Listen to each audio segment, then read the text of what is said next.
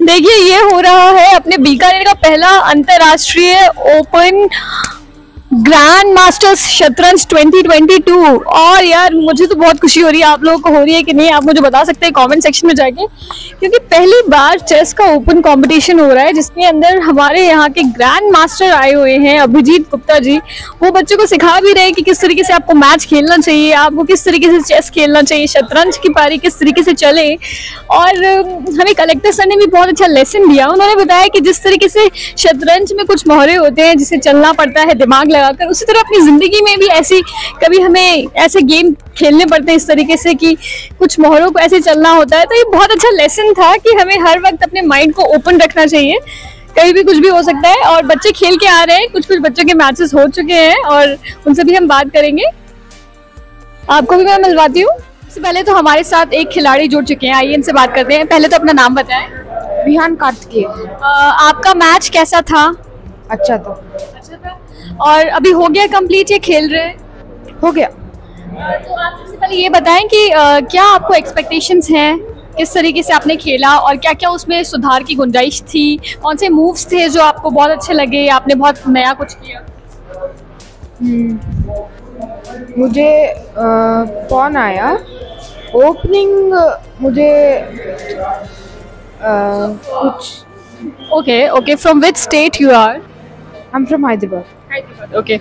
So uh, this was your first game or uh, so tell me something about chess. What uh, what comes in your mind when you hear chess?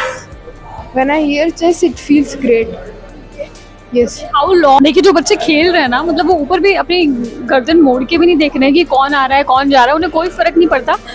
If you can see guys वो लोग इतना ज़्यादा खोज चुके अपने match में। दिनेश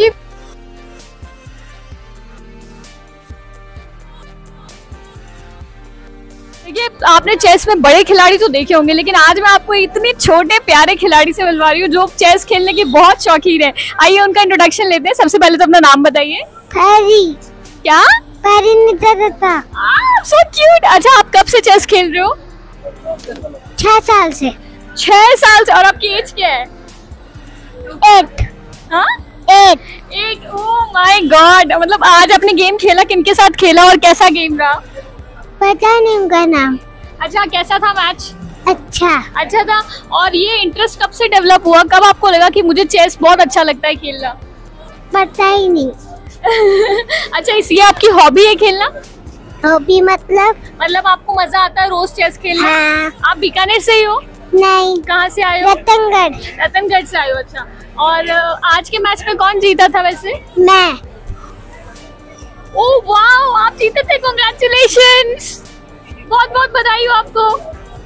अच्छा एक बार देखिए, बीकानेर का फ़र्स्ट इंटरनेशनल चैंपियनशिप हो रहा है टूर्नामेंट हो रहा है। बच्चे छोटे छोटे यार, इतनी प्यारी बच्ची मतलब वो मैच खेल के जीती भी है। मुझे बहुत अच्छा लग रहा है और बहुत गर्व महसूस हो रहा है आज की छोटे एज नो बार मतलब आपका टैलेंट कभी भी आपके एज से नापा नहीं जाता। ये आज उन्होंने प्रूव कर दिया। वो ना सिर्फ़ मैच जीती है, लेकिन उन्होंने ये एक और परिचय दिया है कि एज जो होती है, वो आपके टैलेंट को जज नहीं कर सकती। थैंक यू सो मच देखिए हमारे साथ शतरंज के खिलाड़ी छोटे छोटे खिलाड़ी जुड़ चुके हैं। आइए बात करते हैं। सबसे पहले तो हाय हाय अपना नाम बताएँ। केशव मदान। आपको कितना टाइम हो गया यहाँ पे खेलते हुए?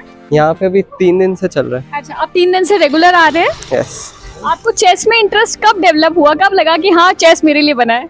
चेस में एक्चुअली जब मैं नौ साल का तब से खेल रहा हूँ एक्चुअली और अभी कितने साल के आप? अभी मैं सेवनटीन का हूँ। कौन सी क्लास में है? ट्वेल्थ क्या सब्जेक्ट है आपके पास? कॉमर्स और बीकानेर से ही है प्रॉपर हाँ। ओके तो आप मुझे बताएँ कि चेस में जीतने की कोई तीन टिप्स अगर आप देंगे हमारे व्यूवर्स को तो वो क्या होंगे?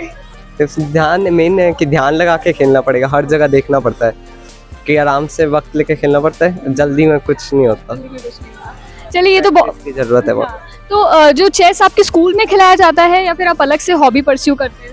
मैं अलग से भी खेलता हूँ। स्कूल में कभी कभार हो जाते हैं टूर्नामेंट कौन से स्कूल से आप? सेट तो बाफना।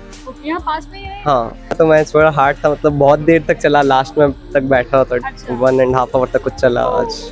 तो मैक्स मतलब कितना टाइम में एक चेस चलता है? हाफ़ आवर ही होता है। अच्छा। तो चलिए थैंक यू सो मच आपसे बात करते हैं जो बाहर खेल रहे हैं इनको चेस का इतना क्रेज है कि ये लोग अपने आप को रोक नहीं पाए और ये बाहर बैठ के खेलने लग गए। यहाँ पे शायद आई थिंक दो टीम है एक टीम इनको सपोर्ट कर रही है और एक टीम इनको सपोर्ट कर रही है।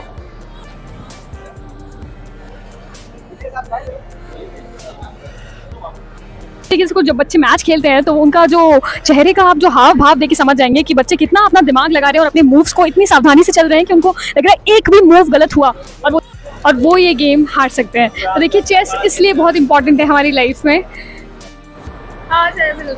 देखिए यहाँ पे सबके पेरेंट्स बैठे हुए हैं जिनके बच्चे अंदर compete कर रहे हैं। तो अ, मैं सबसे पहले आपको यहाँ पे कुछ पेरेंट्स से बात करते हैं उनसे जानने की कोशिश करते हैं कि किस तरीके से माहौल है क्या अंदर फीलिंग्स होती है जब बच्चे खेल रहे होते हैं। गाइस अभी मैं बैठी हूँ जहाँ पे जिन पेरेंट्स के साथ में जिनके बच्चे अंदर चेस खेल रहे हैं उनसे जानते हैं कि उनके मन में क्या उथल पुथल चल रही है। आइए हेलो सर यस हेलो सबसे पहले तो अपना नाम बताएँ। मेरा नाम दिलीप देवनाथ है मेरा बच्चा खेल रहा है दिशान देवनाथ। मैं वेस्ट बंगाल से आया हूँ बेसिकली कोलकाता का हूँ।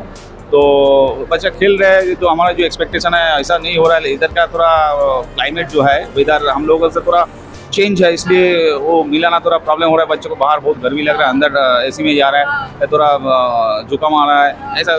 तो सर आप मतलब आपको कितना टाइम हो गया अभी बीकानेर आए आया तो हम एक्चुअली स्टार्ट हुआ? तीस तारीख को आया एक तारीख से यहाँ खेल स्टार्ट हुआ। तीस तारीख को आया और यहाँ से तो जाएँगे छः तारीख को पाँच तारीख खेल स्टार्ट एक बात मुझे आप ये बताएँ कि जब बच्चा अंदर खेलता है तो आप लोगों को भी उतनी टेंशन होती है जैसे बच्चे के मन में अभी टेंशन चल रही है। आप भी सोच रहे हैं कि कहीं बच्चा अभी क्या कर रहा होगा ये सब? ये तो होता ही है। एक्चुअली मेरा लड़का तो पंद्रह रेटिंग है तो उसका रेटिंग एवं हम सोचते हैं वो अपार का साथ उसका ओपोनेंट उसका अपार हो रेटिंग में।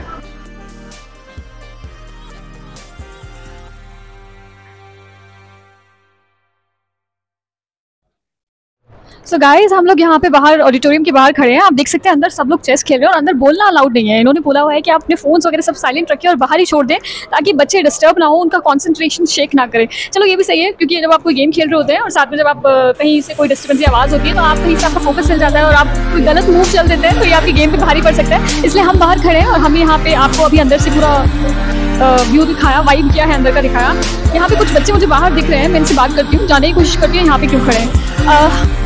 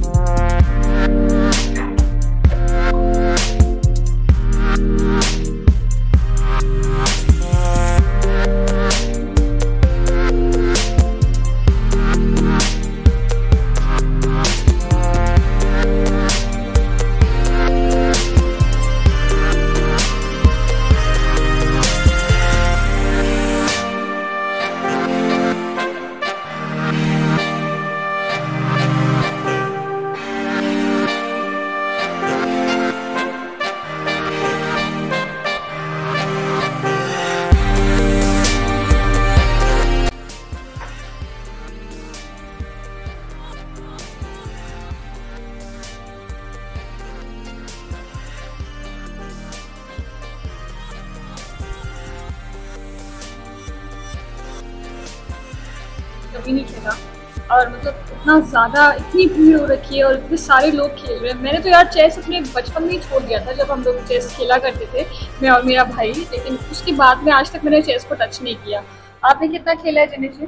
बहुत खेला है अभी थोड़े दिन पहले भी खेला था भाई के साथ में। और पाँच दिन मतलब हो गया उस बात को छह महीना साल भर हो गए। जीता कौन बट था? बार खेले थे तो तीन बार बच जाता तो यही है कि जो आप चेस खेल रहे हैं मैटर ये करता है कि आपका उस वक्त दिमाग उस गेम में है कि नहीं है। देखिए महावीर रांका सर ने ये यहाँ पे ऑर्गेनाइज किया है ग्रैंड मास्टर्स ओपन चैलेंज और मैं कहती हूँ ये बहुत ही अच्छा इनिशिएटिव है। इससे बच्चों को ना सिर्फ़ बीकानेर में एक जुनून पैदा होगा चेस के प्रति बल्कि बच्चे मोटिवेट होंगे आगे चेस में आगे बढ़ने को। अ,